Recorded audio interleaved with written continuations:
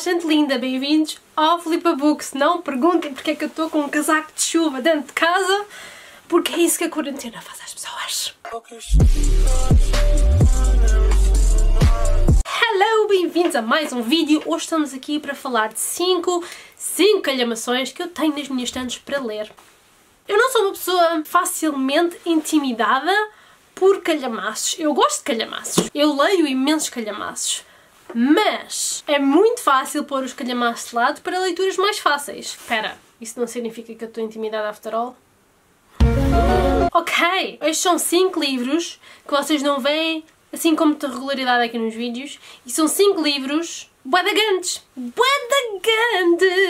Calhamaços para mim são livros com 700 e mais páginas. A definição de calhamaço normalmente é 500 ou mais, mas eu até elevo a fasquia. 700 ou mais. No entanto, eu pus aqui um com menos páginas que 700. Tenho aqui o primeiro calhamaço. Tem 568 páginas e eu decidi incluir porque é um livro que eu me esqueço que eu tenho cá em casa. Eu gostava imenso de ler este livro. Este livro é The Queens of Innis Lear, de Tessa Gretchen. Filipa comprou este livro há muitos anos atrás. A Filipa tem este livro aqui há um bastante tempo. A Filipa ainda não leu.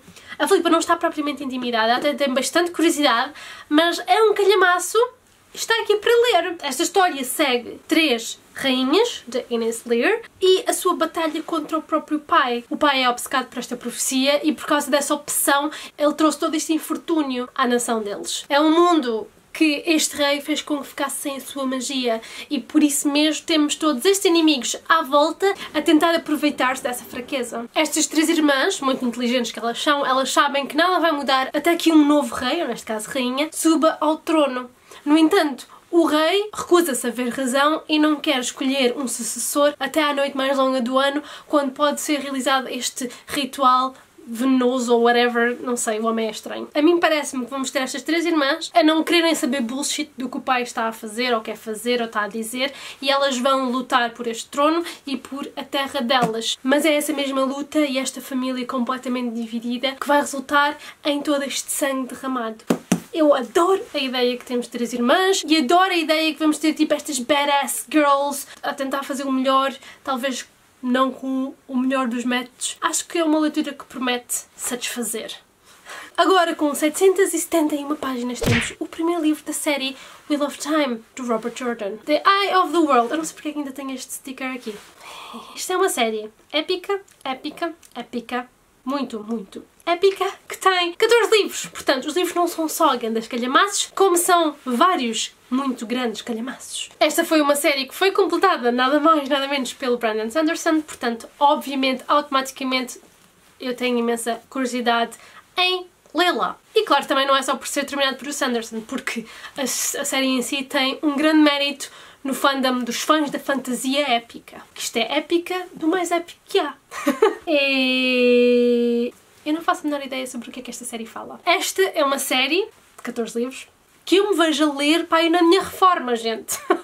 Nada anytime soon, não me vejo a pegar neste grande commitment. Se bem que está terminada, por isso nós sabemos quando começamos que vai ter fim.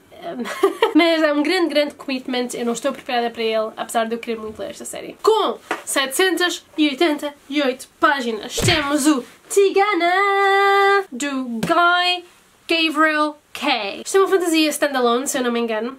E este livro foi oferecido pela querida Jojo, dos devaneios da Jojo. A Jojo está sempre a contribuir para a minha coleção e está sempre a oferecer coisas fantásticas. É um grande calhamaço, mas é um grande calhamaço que eu me vejo a ler brevemente. Eu estou super entregada com este livro, eu acho que vou gostar bastante deste livro. Porquê que eu ainda não li este livro?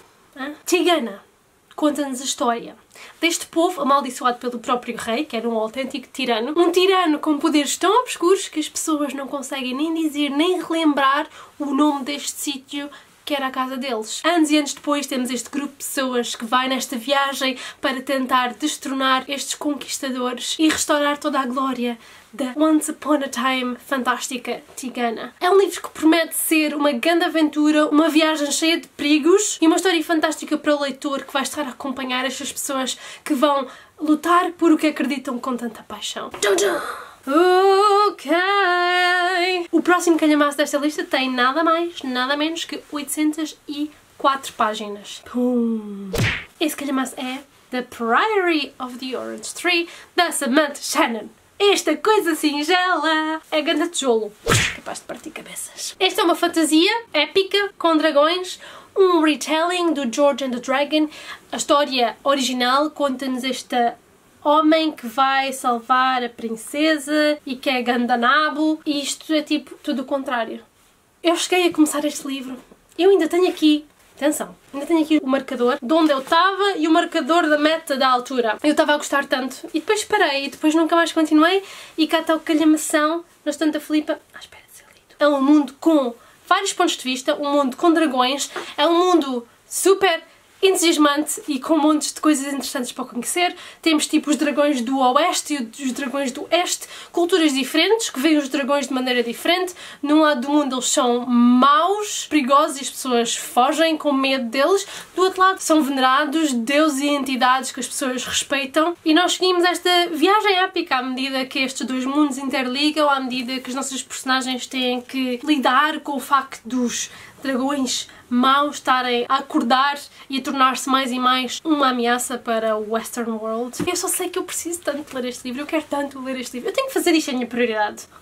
Eu, Filipe Alexandra, que lê o calhamaço que é The Rhythm of War com 1219 páginas, não lê este livro tão mais pequenino com 804? Uh, ok, gente, o último calhamaço. Chegamos ao último calhamaço deste vídeo com as simpáticas. 1067 páginas. Não é ele tão pequenino e singelo? Essa amostra do livro é o It, de Stephen King. Yay! Uau! Ganda tijolo. E não é só ganda tijolo, este é aquele género livro em que as letras são minúsculas e que as páginas são de bíblia. Acho que hoje em dia, mais ou menos todos nós sabemos do que é que o It trata se não pelo livro, pelo filme ou pelas imagens assustadoras que circulam por essa internet? Com esta carinha laroca. Isto passa-se nesta terra, uma terra assim um bocado estranha, onde acontecem coisas um bocado estranhas. Depois temos este grupo de crianças a meio que entrar em contacto do porquê é desta terrinha ser tão estranha. Entra o palhaço Pennywise. No precisamente que eu estou a filmar este vídeo, eu ainda não li este livro. Eu não sei se estou preparada para os pesadelos que eu vou ter quando ler este livro. Aliás, eu vi os filmes Tive pesadelo, já não me lembro. Talvez não tenha conseguido desligar a luz nas primeiras duas noites. Mas gostei, bué! não estou particularmente intimidada, aliás, até tenho bastante entusiasmo quando penso em começar este livro e devorar esta história, mas ao mesmo tempo é, é, é grande commitment, né? São 1067 páginas. Por esses 5 calhamaços que eu tenho aqui nas minhas estantes por ler, prometem todos ser grandes aventuras, grandes histórias e livros fantásticos. Digam-me nos comentários qual é o calhamaço o maior calhamaço que está na vossa estante à vossa espera para ser lido.